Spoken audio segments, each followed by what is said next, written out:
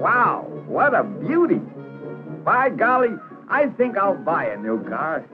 In mid 20th century America, nothing defined progress and the post war boom quite like the automobile. A perfect mesh of form and function, benefiting from all the new technologies the world had to offer. From self starters, front wheel drive, the automatic transmission. Comfort and convenience was king, and anything seemed possible.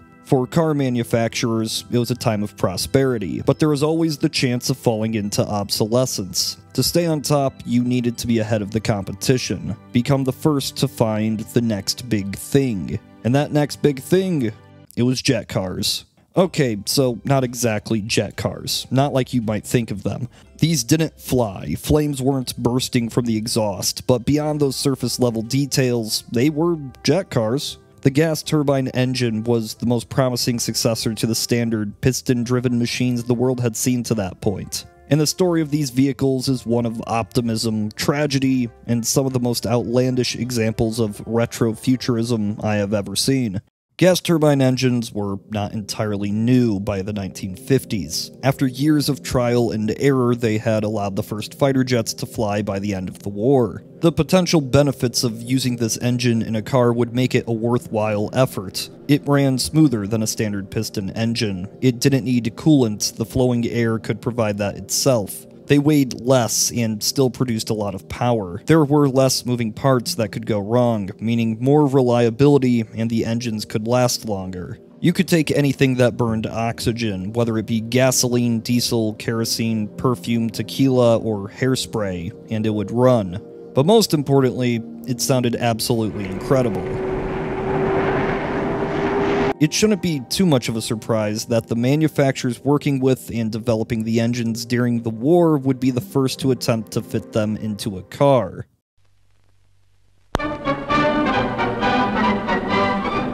A great event at Silverstone, North Northants, when the world's first gas turbine car was given its demonstration run. Produced by the world-famous Rover Car Company and driven by Mr. Maurice Wilks, the chief engineer, it was obviously the focus of tremendous interest for the newsreels and press. Companies like Rover, Fiat, and Renault were some of the first to try this out, but many of these tests would be just that tests. Proofs of concept, often hindered by massive technical hurdles and logistics problems. Most of these experiments wouldn't amount to much, other than the publicity briefly boosting sales for other cars from the manufacturers but some took it a bit further than others. Chrysler's research division, led by George Huebner Jr., was one of the biggest supporters of this jet car future. March 25, 1954, an important date in the automobile industry. Chrysler Corporation announced the development and successful road testing of the first American-built gas turbine engine in a production line automobile. This wasn't some fancy concept car, a one off. It was a car that you could buy today. Chrysler paraded its reliability, lack of cooling requirements, and its amazing sound. And also, yeah, it could consume all kinds of fuel, not restricted to standard gasoline or diesel. While today that might seem like a major selling point, the biggest selling point, in the early 50s it was a mere novelty. A bonus with no real practical use. Gas was cheap, 29 cents on average, a mere $2 even adjusted for inflation. There was no indication that it would ever rise in price, but even still, the public was hooked. And while Chrysler made headlines, growing the hype with its real world showcase, it wasn't the only head turner this year by an American manufacturer. When people got a good look at the one and only Firebird at General Motors Motorama, they left no doubt that Americans confidently expect this country's industrial and engineering genius to come up with tomorrow's best as it has today. The Firebird by GM was a concept car in its purest form. It was revolutionary, gorgeous, and unrealistic by any standard. It was just a jet. A jet you could drive. The unnecessary tail fin coupled with actual unusable wings and an exhaust that looked like it was about to spew out flames. That's not to say it was actually that fast. Sure, it could get going if it wanted to, but it would be slower than the top performing cars of the day. As she runs up the miles on proving ground roadways, engineers will try to find how best to stop her, with or without her brake flaps. Try to make her run quieter, use less fuel. They'll try to make her more responsive to her throttle, thoroughly safe, easy to service. To solve these and other problems, they'll have to find the answers to a thousand and one questions. It might just seem a bit shallow, a weird car with no promise of production, but GM wasn't just in this as a publicity stunt. Built off the same engine, it would reveal its Turbo Cruiser bus, a slightly more practical form for a turbine vehicle. The turbine engine could provide the torque and horsepower needed for massive trucks, and it didn't hurt that the Federal Aid Highway Act was being passed around the same time. Manufacturers had newfound interest in the potential of larger shipping vehicles, and these could be the largest. But it came at a cost. In the early days of turbine engines, there was a lot of smoke and mirrors presented to the public. Some of these cars would work, but briefly. There was no guarantee you could start it up when you needed to show the press, and most were only ever displayed in films or short test runs. These early turbines were more than just inefficient, they were impractical. Standard cars during this time could reach 3 to 6,000 RPMs, but turbines, they could go a lot higher, 100,000 RPMs but that was too much. That number would be scaled back to a still unreasonable 60,000 RPMs. Reduction gears would bring that down to a more usable level, but it would eat fuel regardless. It wouldn't matter if you floored it or were idling the engine, you were looking at single digit miles per gallon. In the heat generated, that was a whole other issue. Without modifications, these early turbine engines would produce exhaust that could literally melt your face off, or the bumper of a vehicle behind you. And for all these drawbacks, these vehicles still couldn't accelerate that quickly. Unless you launched from a start holding the brake to get ideal RPMs, there was going to be a lot of lag in just getting the car to go faster. Many of these problems were technical hurdles that could be figured out, but there was financial issues as well. These engines needed rare metals to make, would require new factories for mass production, and even with the lowest estimates would still cost hundreds of thousands of dollars, adjusted for inflation, to sell to the public. But that was a given with any new technology. Not all turbine cars garnered the same hype or promise. Around this time, Ford was taking small engines from Boeing and just shoving them in existing car models. Selling the future was easy, and few companies did this better or worse, depending on your perspective, than GM. A milestone in automotive engineering is marked by the completion of General Motors Firebird II, the first gas turbine family car ever built and tested in the United States. The Firebird project continued with the Firebird II, shown off at Motorama 1956 with the wonderful promotional film Key to the Future.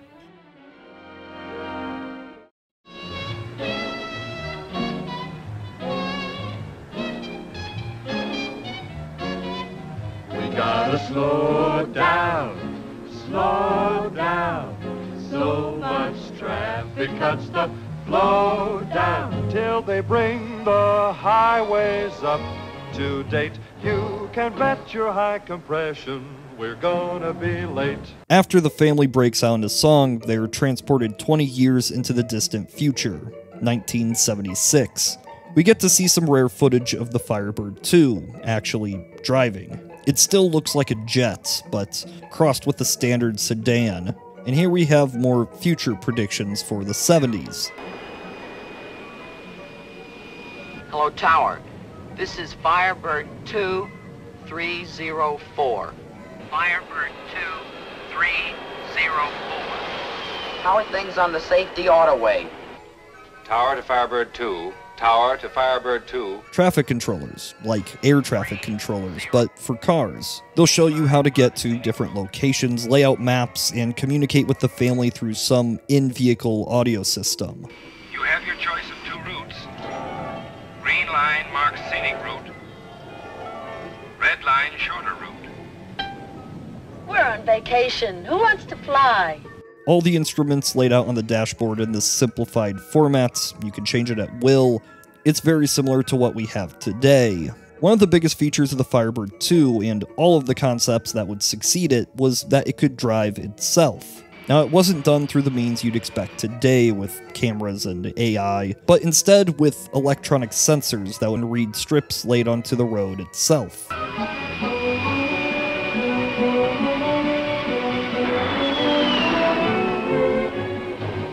This is the life. Safe, cool, comfortable. Mind if I smoke a cigar? Oh, not with this wonderful air conditioning. For some reason, a large trend in the 1950s and 60s car concepts was beverage dispensers. Hey, do you want some ice cream or a cool drink? Orange juice, please. Oh, me too. I'm gonna go for the ice cream. A quick side note, I love the depiction of the 70s future here. It's no Logan's Run, if anything it's closer to Westworld, but the bizarre matte paintings, traffic centers, elevated highways, and that desert look all great. Near the end, we see the Firebird's steering wheel, or lack of steering wheel. This was another trend during the 50s and 60s. We end with another lengthy musical number.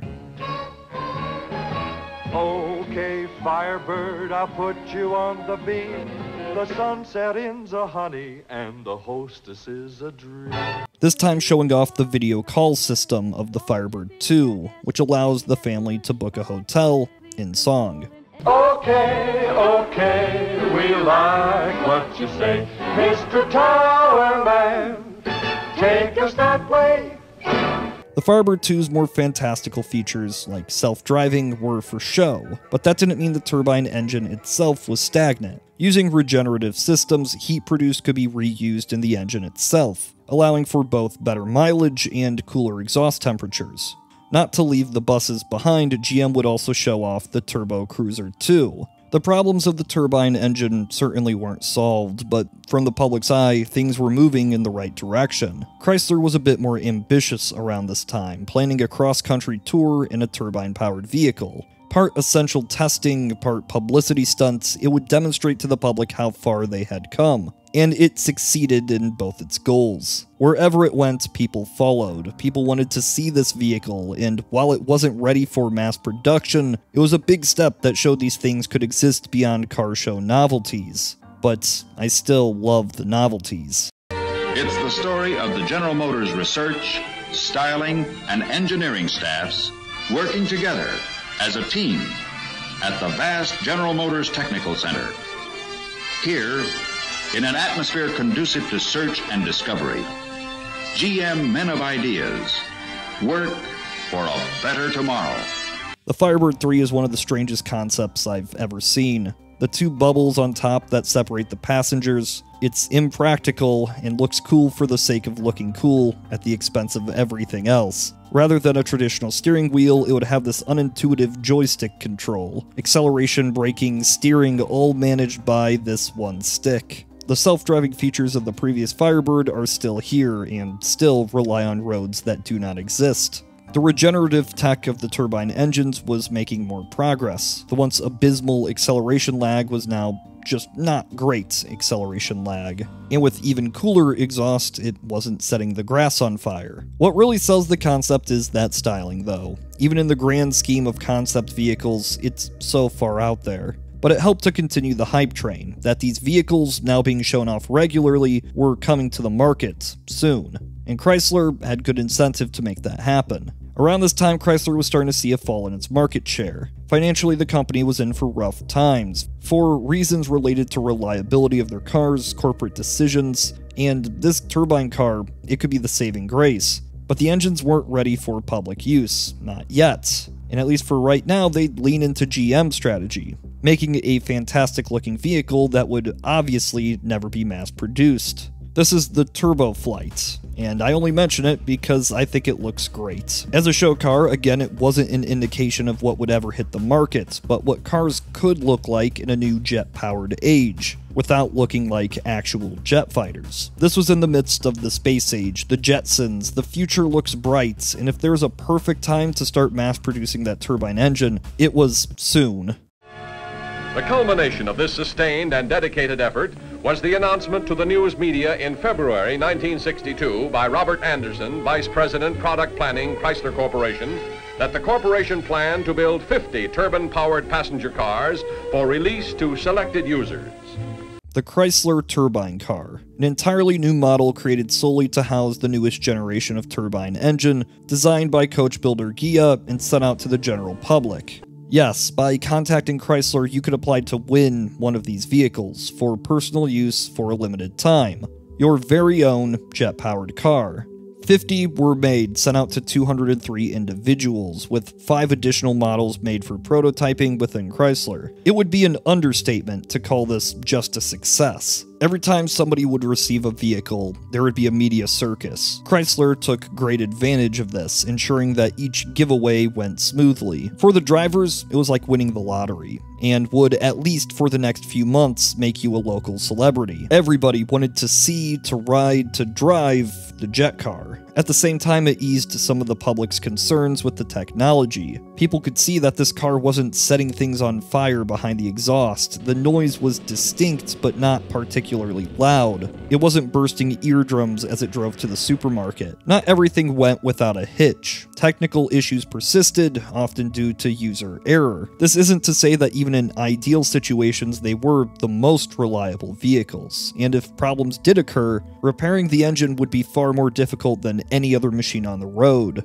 The engine was new and untested, and you simply couldn't take it to the local mechanic for repair. And the bodies, they were handcrafted, meaning no interchangeable parts. While you could put any fuel inside this, it had very specific preferences on the matter. The most popular fuel in America, leaded gasoline, could harm the engine with lead residue. Instead, it preferred diesel or kerosene. But for any of the drawbacks, it couldn't slow down the hype of this car and the technology powering it. It was everywhere movies, magazines. It became an icon in its own right. And as these cars were taken back by Chrysler, the program ended. The public anxiously waited for the day that they could buy their very own at a dealership. But behind the scenes, things weren't so optimistic. Chrysler's turbine car experiment went flawlessly in the eyes of the public, but actually making them was quite a financial investment.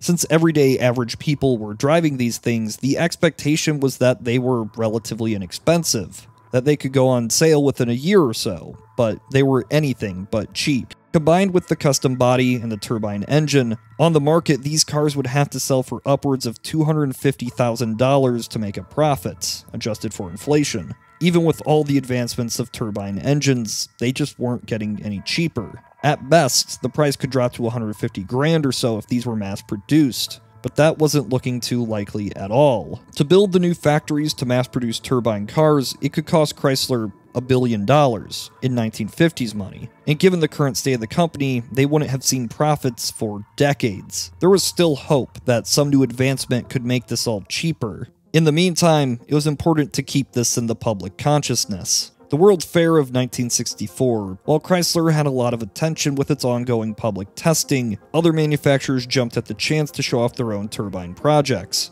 GM's exhibits were, again, bizarre. Now are bringing to the innermost depths of the tropic world the goods and materials of progress and prosperity. Creating productive communities that can enter profitably the markets of the world. The Firebird 4.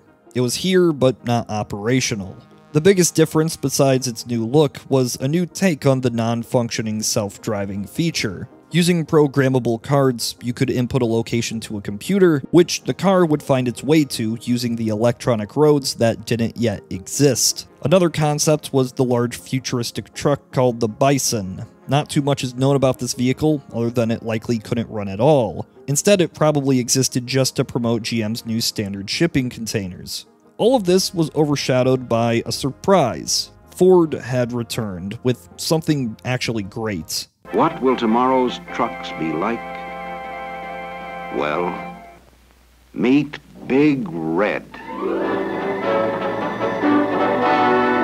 Yes, one of the most famous turbine automobiles with a long and detailed history all its own. And unlike the Bison, it worked. This thing would travel across the United States, bringing joy and excitement wherever it went. Not just because it was a jet truck, because it was also big and red. It was so big, you needed to use a retractable ladder to get inside it. Inside, you'd find accommodations you'd normally expect from an RV a sink, a fridge, a toilet, an oven, even a TV, not to mention the same beverage dispensers as the Firebird 2. The console was freestanding with wide windows that gave you a huge view. For truckers, it was the dream vehicle, and for everybody else, it was big, red, and beautiful. GM would respond with its own turbine powered big rig, the Turbo Titan 3. Don't worry about the first two. If I'm being honest, it was a slightly more realistic big rig than the Big Red. It had less power outputs, was far smaller, and standard accommodations. The weirdest part about it was the steering wheel, or whatever this was supposed to be. The turbine vehicle was no longer just a futurist concept created to get manufacturers noticed. It was very much on the horizon with more players getting involved, which made its downfall all the more tragic. Chrysler's financial problems were not getting any better. The Chrysler turbine car program had been a success, but it was never going to go on forever. In a very controversial move, the company destroyed 46 of the 55 turbine cars. The reasons behind this are also controversial. Some accuse Chrysler of avoiding tariffs due to shipping these from Ghia, but it's far more likely that it was because they were concept cars, and Chrysler didn't want these getting into the public's or competition's hands. Standard practice, but tragic nonetheless. The price to develop these engines were still too high. Eventually, with enough time, with enough money, this could have been solved, but there was a far greater issue on the horizon that would change the car industry forever. Over the course of the 20th century, smog was a fairly well known issue. Federal regulation began to restrict car emissions around this time, but those restrictions targeted piston engines and what those could possibly achieve. Turbine engines were not good with emissions. When burning gas, the engines were nowhere close to even reaching the basic federal standards. To solve this issue, you would have to take a hit from gas consumption. While these cars could potentially get 19 miles per gallon, that efficiency would need to be sacrificed for the sake of emissions. And then, the oil producing countries of the Arab world decided to use their oil as a political weapon. They will reduce oil production by 5% a month until the Israelis withdraw from occupied territories. If the Arab countries keep that pledge, it would reduce their production by almost 50% in one year. The oil crisis. Suddenly, there was regulations on not just emissions, but mileage. People wanted cars that burned less fuel, right now. Research and development costs were better suited to getting those piston engines to perform with more efficiency and less emissions. And even if the turbine engine could burn other fuels that weren't gasoline, the emission standards were based on gasoline because it was still the most common fuel source. The EPA would grant Chrysler funds for research to continue studying whether this turbine could meet all regulations, but it never really seemed that feasible. As new advancements would be made, new regulations would be put in place, it was a battle that would never be won. Chrysler Corporation takes its position in support of the Dingell-Broyhill numbers. Moreover, from a practical standpoint, we've just about run out of time for 1979. Accordingly, we believe the first order of business is for Congress to carry over the 1977 emission standards through the 1978 and 1979 model years. You are here telling me now that you have already conducted tests with V8 engines which meet the test uh, of, of the statutory standards. Now, how can you ask me for five more years under those circumstances? We're not talking about our technical ability to meet the standards one way or another. What we are talking about is that meeting the standards involves a number of trade-offs that should be considered. What we've got to do is to say, how do we clean up the air at the lowest possible cost? And until you gentlemen look at that overall problem that way, I'm afraid you're coming up with a lot of wrong answers. It's estimated that by the end, the cost of a fuel efficient, emissions certified, mass produced turbine car could cost upwards of $2 million adjusted for inflation. $2 million for what would otherwise be a fairly standard sedan. By the late 70s, Chrysler's financial situation wasn't getting any better. It was about to go bankrupt. The EPA was dropping its funding, and internally the government had labeled the turbine an impractical means of powering cars. Some reports state that somehow Chrysler behind the scenes was solving all these problems emissions, MPG, price, and was planning on mass producing the 1981 New Yorker model with the turbine engine as an option. Without official confirmation, we may never know the truth, but personally, I don't believe it. The costs that were required to keep up with the missions, to build factories, everything in between just wasn't manageable by late 70s Chrysler. It is imperative that the Congress bail out Chrysler with federal loan guarantees. Both houses are debating that issue. The country cannot afford to let the Chrysler Corporation go under. The Carter administration asked Congress today to bail out the ailing Chrysler Corporation. Chrysler would receive a bailout from the federal government, likely due to its work on the M1 Abrams, which ironically was turbine powered. But under the conditions of the bailout, Chrysler would need to stop spending on these outlandish research projects, namely the turbine car. Turbine powered cars weren't gone entirely, but the hopes of mass production were.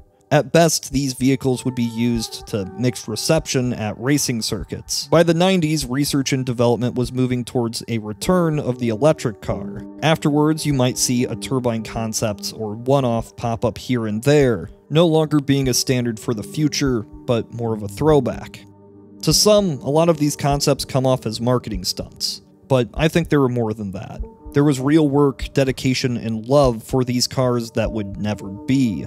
They existed in a hopeful time and place, and it's somewhat poetic that their rise was linked to the public's optimism for the future, and declined as our outlook became more cynical. And I see them as the unnecessary underdog in a world that didn't need, but still wanted them.